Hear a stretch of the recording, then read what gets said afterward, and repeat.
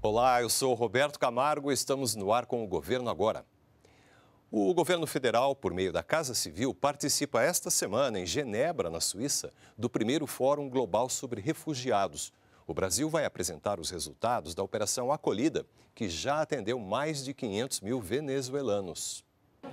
O governo federal vai mostrar a experiência com a Operação Acolhida. O país recebe milhares de refugiados que fogem da crise na Venezuela. Desde 2016, mais de 4 milhões de pessoas deixaram aquele país em busca de sobrevivência. A Operação Acolhida realiza o trabalho de recepção, identificação e acolhimento de venezuelanos que chegam ao país pela fronteira com o estado de Roraima. Fornece vacinas, orientação, proteção e emissão de documentos para a comunidade que desembarca diariamente no estado e ainda estrutura a interiorização para outras cidades. A resposta operacional brasileira para o fluxo populacional é organizada pelas Forças Armadas. Em um vídeo divulgado pela Casa Civil da Presidência da República, muitos venezuelanos contam histórias difíceis. Venir com meus dois filhos, meus dois filhos, porque a situação allá era insostenible, insoportable. Casi no comíamos, no había poder adquisitivo, el sueldo no alcanza, los niños no reciben buena educación. El salario, pero allá es mucho, mucho, mucho más malo. Allá los meninos chiquiticos tienen que tomar leche completa.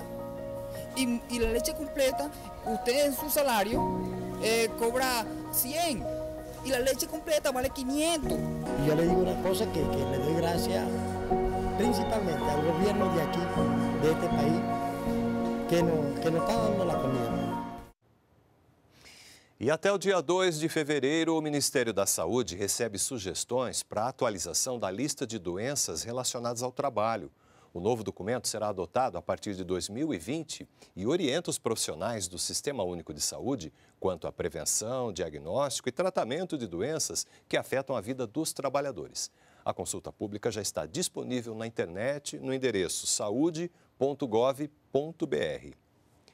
Os cadernos de questões do Exame Nacional para Certificação de Competências de Jovens e Adultos, o ENSEJA, já estão disponíveis para consulta no site do INEP, tanto para quem fez as provas do ensino fundamental quanto do ensino médio.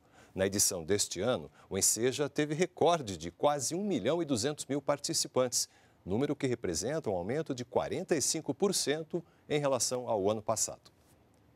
A gente fica por aqui. Você pode nos acompanhar também pelas redes sociais. Até a próxima edição. Tchau!